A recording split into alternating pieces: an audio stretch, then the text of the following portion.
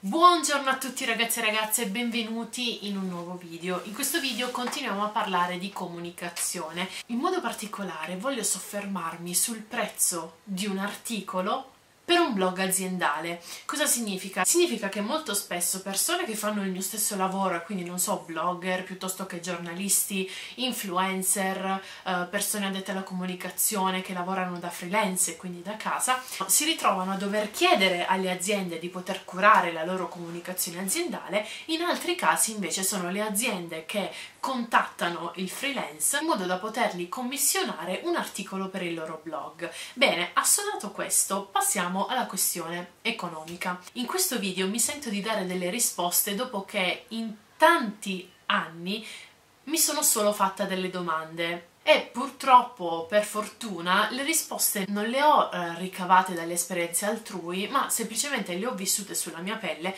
e quindi ora, a questo punto, mi sento in grado di potervi trasmettere la mia esperienza. Per fortuna, qui su YouTube e anche sugli altri social sono conosciuta per essere una persona totalmente sincera, schietta, eh, molto mh, mm, semplicistica nelle parole, nonostante si affrontino dei temi molto importanti veramente mi fa sentire tanto utile.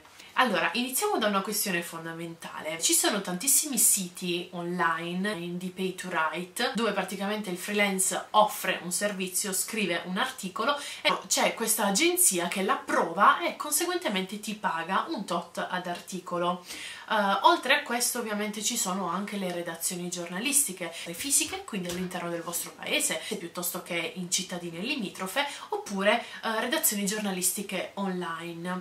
In questi casi, parlando di soldi, si può essere pagati anche uh, 15-10 euro d'articolo e in alcuni casi anche 7, 5 o 3. Vi assicuro che io quando ho iniziato a scrivere per alcune redazioni giornalistiche avevo 18 anni, era il mio primo anno di università e percepivo 3 euro ad articolo e uh, ho dovuto ringraziare il direttore della testata giornalistica perché precedentemente avevo scritto per altre redazioni giornalistiche che volevano semplicemente un mio contributo e um, non pagare assolutamente nulla quindi quei 3 euro per me erano già una somma incredibile anche perché riuscivo a scrivere quegli 8-10 articoli al mese e per me comunque erano dei soldini in più da portare in tasca. Poi con il tempo le, le competenze professionali, gli studi, le esperienze lavorative vanno avanti e non, non è più pensabile poter chiedere 3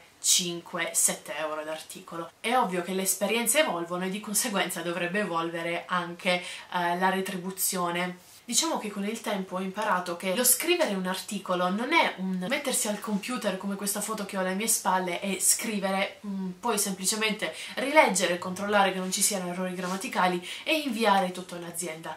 No, non è assolutamente solo questo. Mm, in realtà bisognerebbe sviscerare davvero bene questo tema perché dietro la scrittura di un articolo per un'azienda ci sono diverse fasi e vanno analizzate una per una senza saltarne neanche una. Fondamentalmente l'obiettivo che c'è alla base della scrittura di un articolo è quello di convertire il lettore in un cliente piuttosto che mettere in atto una determinata strategia di marketing, far conoscere un determinato prodotto che sia inserito all'interno di una strategia di marketing, ottimizzare l'articolo in modo che non sia solo leggibile al lettore, ma possa essere anche leggibile da indicizzazioni di Google. Uh, assodate queste cose è ovvio che uh, un freelance inizia a pensare ma Forse mi sto svendendo troppo per la realizzazione di quest'articolo? Forse sto chiedendo troppo per la realizzazione di quest'articolo? Forse ho colleghi sul mercato che offrono di più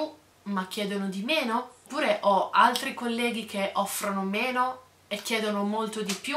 Queste sono tutte le domande che un freelance prima o poi deve affrontare e sicuramente dovrà cercare delle risposte per cercare mh, mm, più o meno di creare un tariffario sulla base delle proprie esperienze. Quali sono le fasi che bisogna necessariamente sviluppare quando si prende un accordo con un'azienda e quindi si decide di dover scrivere un determinato articolo per un'azienda?